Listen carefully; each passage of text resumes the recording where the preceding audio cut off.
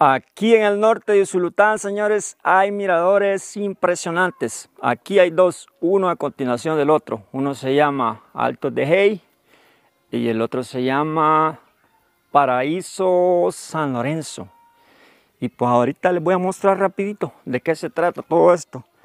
Cuesta un poquito llegar porque la calle es así, empedrada.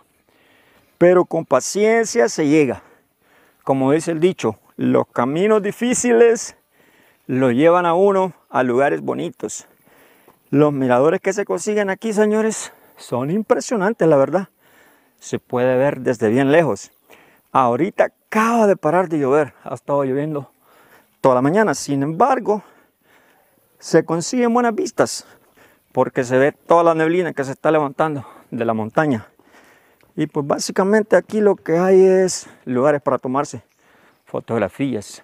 Hay un columpio, hay un globo, hay una estrella, unas manos. Esta es la entrada, se pagan dos dólares ah, por adulto. A los niños no les cobran. Y ahí está una tiendita donde pueden comprar recuerditos. Hay un restaurante. El lugar está ideal para venir temprano a tomarse un cafecito y disfrutar de la vista.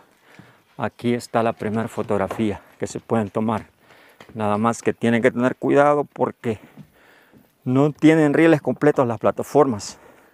Por ejemplo, aquí termina el riel y pues si vienen con niños tienen que andarlos siempre de la mano. Y se paran ahí adentro en el globo y se toman esta foto.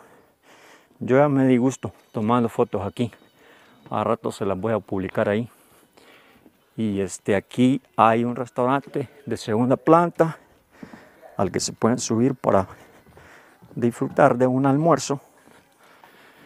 Aquí está la segunda fotografía, señores. Estas son dos manos. Igual, no tiene rieles, da un poco de miedo acercarse allá. Pero uno se para ahí en las manitas y se toma esta bonita foto. En la planta de abajo está un corazón para los enamorados desde aquí se puede ver. Y también hay una estrella en este lado. Esa estrella gira 360 grados, entonces uno se sienta allá y se da la vueltecita. Cuando uno va viendo para allá, señores, da miedo. Pican las piernas. Allá están unas alitas también para uno simular que anda volando. Y pues ahorita va a llover, señores. Se escuchan los truenos en el fondo. Aquí en la zona alta eso es lo que pasa, que en el invierno de repente llueve. Pero eso es lo que hace bonito la aventura, porque uno disfruta de los dos climas, el sol y la lluvia, el calor y el frío. Si de repente se viene la lluvia, uno se encierra en un lugar de estos, se toma un cafecito y pues espera que pase la lluvia. Aquí está bonito también para venir en la tardecita a sentarse en una silla y platicar un rato. Hace poquito estuvimos allá en Berlín y estaba lloviendo.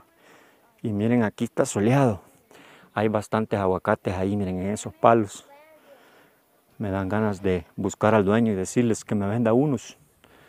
Yo tengo bastantes aguacates, pero son de otra clase. De estos no había visto. Bueno, ya que andamos aquí, les voy a enseñar la vista de allá. Para que aprecien mejor el lugar. No se los estoy recomendando Simplemente se los estoy enseñando por si algún día andan por aquí en la zona. Este, se dan la vueltecita, se la van a pasar bien. A mí me ha gustado todo lo que tiene que ver con montañas, ríos, bueno, naturaleza en general es lo que me gusta a mí.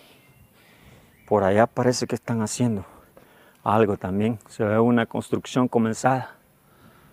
Así es que ya saben, señores, hay mucho que explorar en El Salvador. El Salvador es bien pequeñito, pero tiene recorrido.